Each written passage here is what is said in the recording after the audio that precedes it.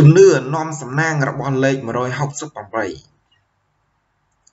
លេខ68ត្រូវបានចាត់ទុកថាជាលេខហុងស៊ុយមួយដែលមនុស្សគ្រប់គ្នាតែងតែយកមកប្រើប្រាស់ប្រចាំថ្ងៃដូចជានៅក្នុងលេខទូរស័ព្ទឬក៏ក្នុងផ្លាកលេខរថយន្តជាដើមព្រោះពួកគេជឿថាការប្រើប្រាស់លេខមួយនេះនឹងនាំមកនៅលាភជ័យដល់ពួកគេផងដែរ ប៉ុន្តែតើលេខ168នេះកើតចេញមកពីជំនឿខាងណាអ្វីបើប្រទេសរបស់យើងមានវប្បធម៌ជំនឿនិងប្រពៃណីរបស់ខ្លួនក៏ពិតមែនប៉ុន្តែយើងក៏បានទទួលនៅអតិពលខ្លះៗពីសំណាក់ប្រទេសធំធំនៅក្នុងតំបន់តាំងពីសម័យមុនមកម្លេះ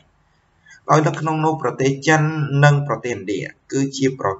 បាត់ជាប្រទេសពីរដែលមានអតិពលយ៉ាងខ្លាំង យ៉ាងខ្លាំងបំផុតដល់ការរស់នៅរបស់ប្រជាពលរដ្ឋខ្មែរបាទសម្រាប់ជំនឿតាក់ទងទៅនឹងសំណាងឬក៏ហុងស៊ុយជាដើមភាគច្រើនគឺយើង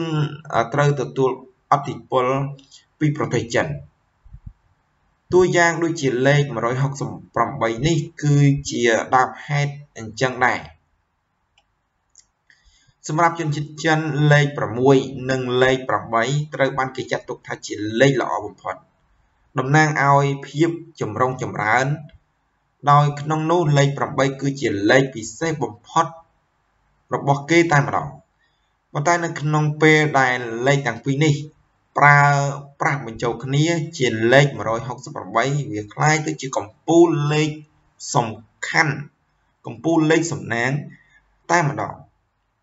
ព្រោះវាតំណាងឲ្យសេចក្តីសុខនិងលុយហូរចូលឈឹបឈឹបតែម្ដងដូចនេះហើយបានជាភាកច្រើនអ្នកជំនួញបាទទាំងអ្នកជំនួញឬក៏អ្នកចង់បានជោគជ័យនៅក្នុងជីវិតរបស់ខ្លួនជួនកាលតែងតែមានជំនឿទៅលើការប្រើប្រាស់លេខទាំងនេះព្រោះគេជឿថា វានឹងទទួលបាននូវលាភជ័យសំណាង សយុះនិងសេចក្តីសុខដល់ពួកគេជាពុំខានបាទនេះគឺជាជំនឿមួយដែរបាទតកតងទៅនឹងលេខ168បាទលេខ168នេះតាមពិតយើងអត់ទាន់ដឹងថាមកពីណាទេប៉ុន្តែនៅពេលនេះយើងដឹងហើយថាលេខ168គឺជាលេខដែលចេញមកពីជំនឿនៅក្នុងប្រទេសចិន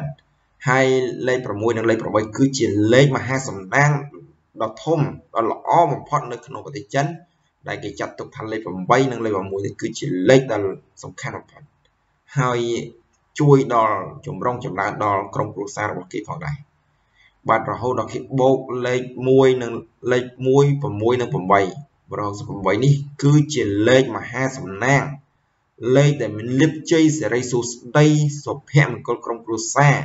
អញ្ចឹងហើយបានគេចាត់ទុកថាលេខ168នេះគឺជាលេខមហាសំណាងតែម្ដង